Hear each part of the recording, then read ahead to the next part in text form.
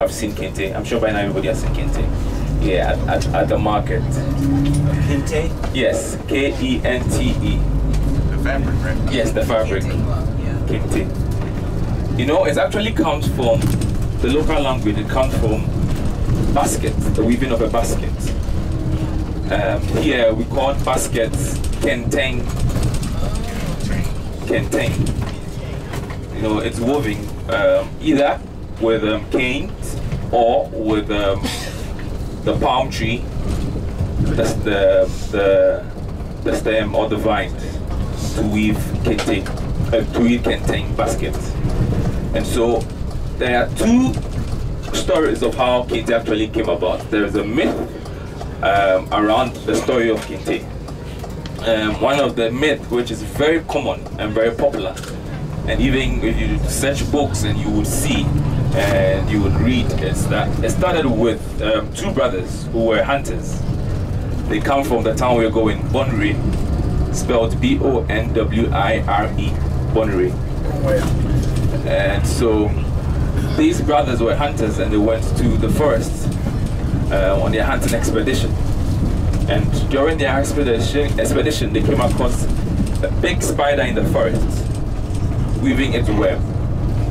So when they saw it, they were amazed. So again, when they went, they saw the spider again. This time, said, hmm, "This might be a sign from the gods."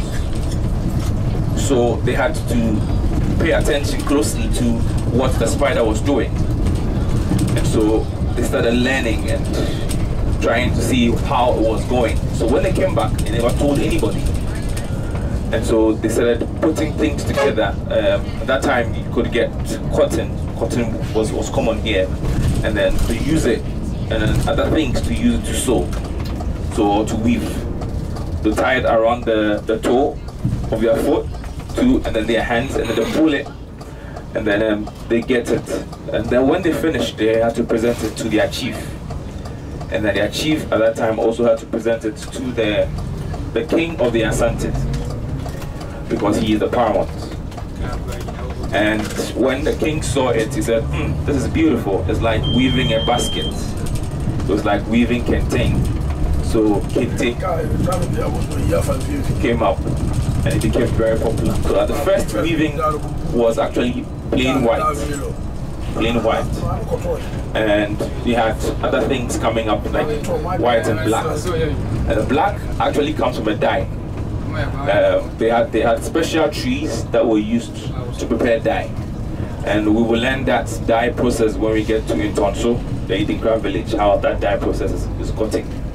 And so that's how they, but over the years, um, they have been, because of industrialization and stuff, um, you get um, threads, you get all sort of things for um, to be used, materials to be used for kente. Uh, but the traditional colors you would always notice is the colors of the Asantes, black, gold, green, and you have red also. And all these colors are very, very important. They have meanings. And kente is not just uh, just a plain fabric, but kente is the political, social, and the way of life of the people. In that it represents what the people stand for. When a person wears a kente fabric, it is a means of communication. At that time, some of these things were means of communication. Um, fabrics, what you wear, how you dress, well, the way you feel, and how you want people to see you when you come out in public. So kente at the time was done, it was meant only for the royals, for chiefs and queens and queen mothers. They were the ones who would wear kente. But over the years, it has become public and everybody can wear it. But then one thing you should know, during a festival, especially in the Asantes, when the festival is up and everybody's allowed to wear kente, but you can't be wearing the same kente the king will be coming in and the public with. If you are found wearing it, yours will be taken away from you. So before the king comes, there are scouts who actually go around and see. So the king's kente is always unique. It's always unique. So the people, when they come, they don't know what No. the king's wearing. No, they don't know what the king is wearing. Wow. Yeah. And over the years, they, the kings, um, anytime they wear a kente, they communicate something. Recently, um, one of the powerful ethnic groups in Ghana, and who, who are the Kans, they are Chimps and they are Santas, were in conflict for over years. Like they were not together. Recently, the two empires or two kingdoms came together, and the king, the present king, wore a particular kente cloth, which his predecessor wore, which was a, a, a symbol for peace and unity. So when he wore that to the durbar, he was communicating that. So the kente fabric has meaning. Anytime you're buying a, a piece of kente, you would always want to find out what the meaning of the fabric is. Um, the names of the kente give, is given to it by the weavers or the master weaver. They give the name of kente. So in Ghana, for example, there's a particular kente that was that was sewn or that came up during um, Kwame Nkrumah's time um, when he married to um, the Egyptian woman Fathia. So the particular kente called Fathia Fata Nkrumah, which means Fathia deserves Nkrumah. But at the time, you know, people when the, the, news came out that Kwame Nkrumah was going to marry an Egyptian woman. Everybody was like, why is he going to marry an Egyptian woman? But um, the whole thing, sensitization, was the fact that trying to foster unity, trying to foster oneness. So we are all one people. So it's good that Fathia indeed. So when Fathia was brought and shown to the, the country, everybody really said, yes, indeed, Fathia deserves Nkrumah. And so there was a particular fabric that was sewn and so it is very popular here in Ghana. Everybody is, is, is very beautiful. And you ask, you go to the weaving center and you ask, you're looking for Fathia Fata Nkrumah, they will show you. The patterns are, are unique. Uh, these days they've blended so many things, but it still stays the same. And so Kente is woven in three variations, or in three types. They have a single woven Kente, they have a double woven and weaving Kente, they have a triple and all these things uh, are unique in that you would you can find the differences how they are woven. No, kente is a pattern woven uh, fabric in that uh, the single weaving is just plain and you can just have one or two fabric designs or patterns, one or two designs or patterns. But the double would have some more colors and more patterns inside. And then the triple has so many, the, the, one of the things to know that is a triple weaving, not a double weaving, is that the triple weaving, you can't see the background of the kente. You can't. No, you can't see, but there's always the background. And the background is the initial thread that the, the weaving or the weaver is weaving with. So before the kente is set up, um, the, the, there's a loom in which the kente is sewn in. The loom, you, you have to work with your hands and your foot and before that, what the, uh, the weaver is about to start, he needs to get the thread. The thread can be gotten in a comb from the factory, is in a comb, or you could buy it without a comb. But then the work that goes into it is to take it out from the comb and stretch it. And then they, they call something laying the warp. They put um, kind of a, a long, they built uh, kind of a, a, stand on the other side and on the other side. And then the guy, the person who's about to weave would have to go and tie it round to unravel the thread from the other side to get it. And then when he does it, he needs to lay the warp in that there are designs in which you have to put it inside. When we get there, you will see it, how it's done. And so when he does that, that first thread that he used is the background. But during the triple weaving, so if it is yellow that he's done with, that's going to be the main thing. But when he's weaving, you actually not see yellow, but you will see different colors, and you will not notice uh, which one did he really start with. Yeah, but for the for the single and for the double, you actually see that this is the dominant color or thread which was used. So that's the difference. Yes, and so um, for that, um, it also determines the price of the kente fabric because more work has to go into um, the weaving. And also, before the person weaves, you always have to visualize the thing in his mind. And it's, that's the one, one of the creativity that you always, you can't even understand how they do it. Because when the person is weaving, he doesn't have anything to look at. Everything in his mind.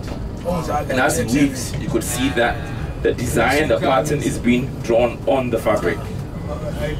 So even they can actually write your name by weaving. Yes, you can write your name. And it's not like they use a machine to do embroidery on it. No, it's actually hand woven everything. Yeah.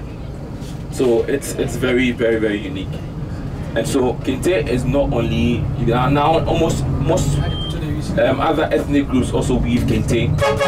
Um, if you go to the Volta region, um, they also have their style of kente weaving. So when we get to Bonwire, you're going to see um, the kente. It's going to be a, it's a big center, and there's so much kente that when you get there, you'll be overwhelmed. yes, you'll be overwhelmed. And so, just to let you know, uh, but yeah, but when you get there, if you want to buy some kente fabric, you can buy uh, from them. You can talk with them, um, chat with them, and all that, and then um, you would you would know. So that's a bit about the kente. Yes. Is there um, is, is there a such thing as a, um, feminine or masculine? Yes, there is. There is, there is, there is. Um, apart from the material, they use um, cotton, they use silk, they use um, silk, and then there's a metallic thread that they also add. And mostly the metallic thread that they add actually for feminine, um, the female, because the women like shiny things. So when the fabric is very shiny, you know, this is uh, for a female uh, thing. And so that's one of the things. Uh, also, the name of the kente can let you know whether it's masculine or feminine. Yes. Um, yes, colors too. So pink, some bright colors. yes, purple, those bright colors, know that. Yeah. And all these colors will let you know. Yes. So what colors are feminine? Pink, purple, Depends on the depends on the dominant color that you see on the, on the, on the fabric. You know, pink is a new red in America. You know, a lot of guys are wearing pink now instead of red. Yeah, the European, the European got them in their heads. Wearing pink. Yeah, the European got them in their head wearing that pink. And they, and they got them, they fooled their minds by the breast cancer. Mm. They fooled their minds That's a Good point. By, by the breast cancer with the Yeah, pink. that's a good Yeah. And now, now the basketball players wear the pink pant, the uh, pink shoes, Mm. the breast cancer supporting, or shirts. They style it. Slick, you know. by the breast cancer. So, yeah. Yeah, absolutely. And also, They got a tree. if when we get there, there's a traditional way we wrap our cloth. Where I don't know if anybody has seen how we put our cloth. Uh, men, um, there's a particular way we wrap our cloth around us. Yeah. Yes. Um, you, uh, mostly, if you're buying a cloth, it's actually for the wrapping for the men. You actually have to buy six yards. Six yards. Yes. And um, you wrap it around yourself and it hangs over. So you have one shoulder um, or that's bare, and one side is covered. Either side. Yes. So mostly it is it is the the right side uh, the left side is covered. The left side is bare. Yes. Um, here in Asantis, these are the, but in other places they wear a shirt underneath it. That's amongst the others. So to let you know which when someone wraps a, a cloth around you, it determines where the person is coming from. A typical Asantis will never put a shirt underneath and wear a cloth underneath. They don't do that. Traditional way is to have a, a bare um, shoulder, yes, and then have one side covered by the cloth. And there are different ways that sometimes they put it on. There are ways you can put it on and then the cloth is short. There are ways you can put it when the cloth is long. And there are other ways that you can even wrap it around your your neck, tie, and even the way you put it on here can let, can determine what kind of person or what kind of role you play. And also the way that they wrap it under, on, on their waist, and then they have their bare um, the upper body exposed. So yes, we are driving past uh, Kwame Nkrumah University.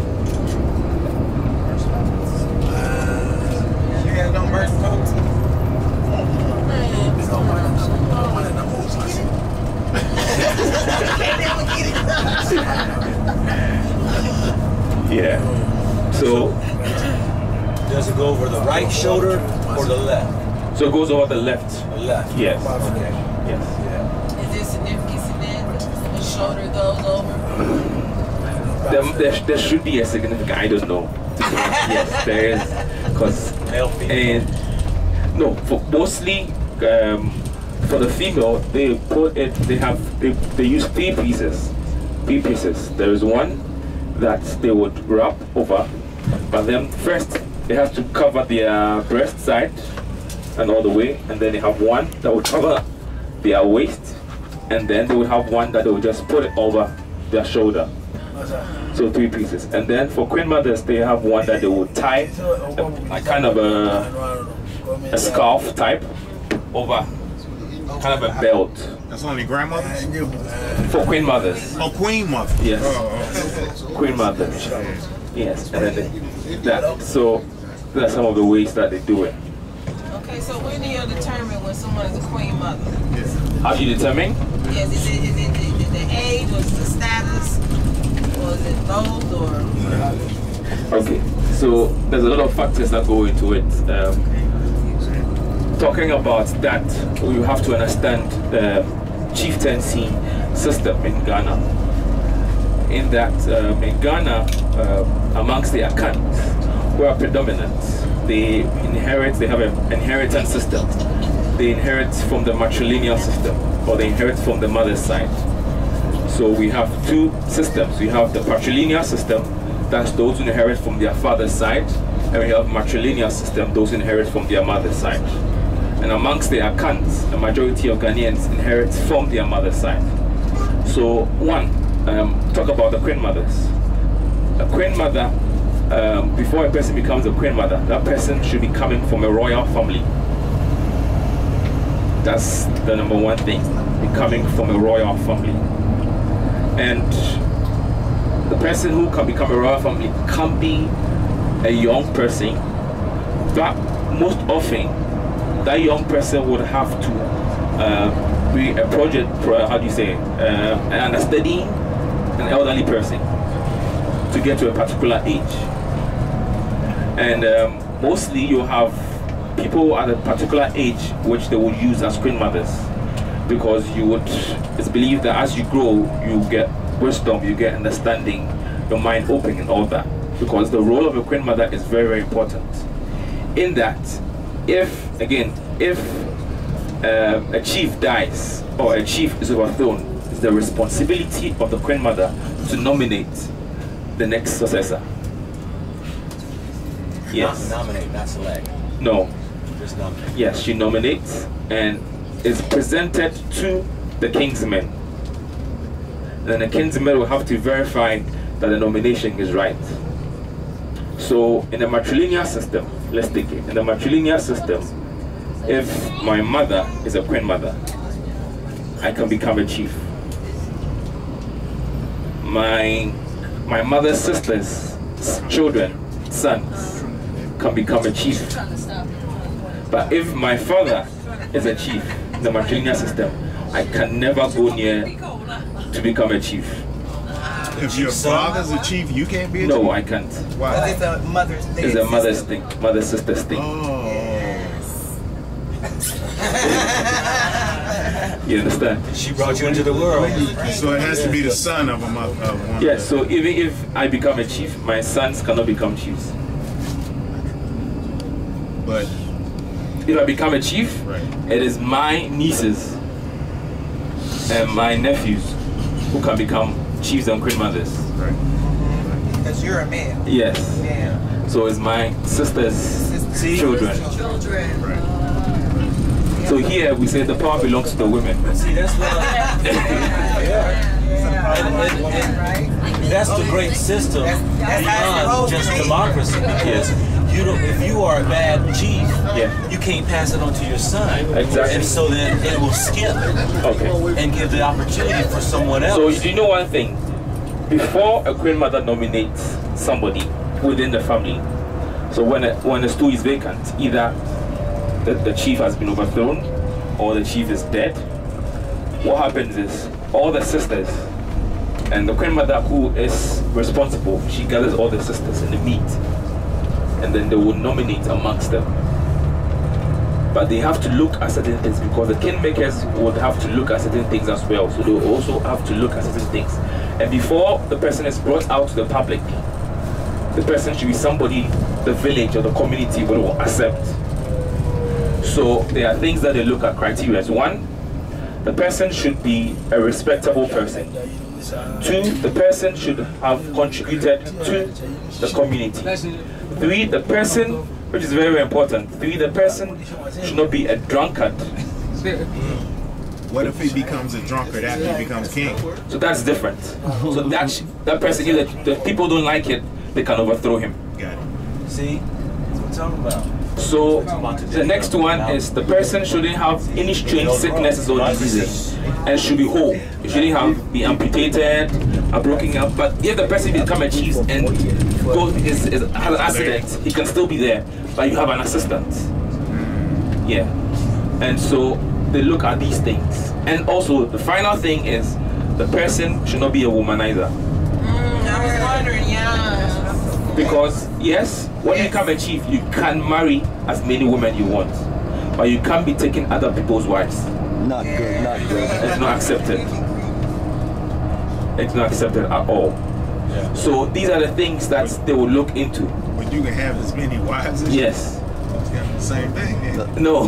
you can't take somebody else. take somebody else's wife. Oh, wait a minute. So, so when it's verified by the kingmakers and it's gone, they present it to the people. The people also have a say. In that, if the person they are bringing and they realize that there is something wrong about the person, they would reject it. The kingmakers would have to go back to the queen mother for the queen mother to bring another selection. So that's how it's done. So they find a better suit for the person. So that's how it's done. And sometimes um, it takes a while before that person is brought out, is brought out to the public. Because, for example, when a chief dies, it can take a long time before the, the burial is done. Because right after the burial, the next thing that they have to do is to be swearing in a new chief. So they can't just bury the dead and then put in a new chief. They need to take process to uh, make sure that when the chief dies, there's a successor and all that. But the women and the, the village and the kingmakers and the people are very wise in that at a certain age they start grooming somebody who is likely they would want to be the next person. Yes. So all these things. So for example, a typical one I spoke to you about the founder of the Asante people, Tutu, his uncle had to send him to go and learn and study at a place. And so that's how it's done. So before it gets there, it becomes so that's the way. And also it's opposite. When the queen mother dies, it is the chief who have to nominate a queen mother. But he has to look within the family to choose. And I was telling you that in Ghana, the kings don't, the kings don't um, rule; they reign. Um, and when they reign, they are not ruling in a dictatorship manner. Because one of the things that they can do, the people can do, because the power belongs to the people in that, when the people feel that the chief is becoming a dictator, they can overthrow the chief. And this is how they do it. Once the chief is in public and the people take your sandals or what you're wearing out of your legs or your foot, it means you've, over- you've been overthrown. Take your foot. Yes, shoes. Oh. Sandals from your leg, it means you've been overthrown. They don't like you. yeah. Who would be in charge of doing that? Take them the people they agree and then they come and they do that so it is, it is a taboo for a chief to walk barefooted Ah. So, Yeah. They come so, snatch them off. So you said they actually take the Shoot. shoes off his feet? yes Suppose he tell you don't touch me. You snatching No. Yeah. And it would, have, it would have built to a certain level for the people to do that. Okay, that's so funny. Also, one other thing is the chief is very powerful in that nobody can rebuke the chief in public except the queen mother. Because the queen mother can be the mother and is the mother of the chief. It's only the mother who rebukes the child. And so because the chief is powerful, you need to be careful. So when the people have a problem, they would go to the queen mother. Queen mother, talk to your son. That's powerful. That's, that's way better than democracy. That's way better. That's how it's supposed to be. Yeah. So when the queen mother is not paying attention and the, the king is not paying attention, the people will react. That's how it's done. Yeah. So Because then, like on Shaka Zulu, he made his mother the, the, the queen mother, right? yeah, Put her in that position. yeah. Yeah. So the queen mothers are very very powerful. Um, so and also again to help in the governance of the community, the the chief or the king rules with elders. And so anytime he sits in council, there are people who are always with him. So one of the things is when you go to the court of a chief, that's the courtyard or the palace, there are people who play different roles in the palace. Before you see a chief, you have to follow certain protocols. And um, before, for example, back then, when somebody is coming to a town or a village, you need to send message that you are coming there, and whatever your mission, you need to let the people know. When you come, the first point of uh, um, contact, you have to go to the chief's palace. And before you get, you go there, you have to take in certain you have to take in there certain things uh, uh, as a gift. And then you sit down. And there the chief is the chief comes but there's somebody who's very important. There is someone who we call the linguist. The linguist. Here you know the chief has the has is an is embodiment of the ancestors the gods and the people. So when he sits in council, you don't speak directly to the chief. You speak through the linguist. The linguist also speaks to you. And so you talk to the linguist. The linguist lets the chief know that I want, I want, I have come here. I want to do this, this, this, this, and that. And then the chief will speak. Even though when the chief speaks, you are you, you can hear the language. The chief will speak it through the linguist, and the linguist speaks to you. Because in that the chief language is supposed to be um, powerful. And so he would speak in proverbs. And most often the chiefs and the linguists and the people will always speak in proverbs. And sometimes the chief maybe by maybe by maybe because of the number of wives he had slept somewhere and didn't wake up very good. And so he might speak out of um, what he's supposed to say something that he's not supposed to say. The responsibility of the linguist is supposed to make sure that the words of the chief are refined. So that when there's a problem, you don't go out and tell people that this is what the chief said. You say this is what the linguist said that the chief said. So it's always go through the linguist first.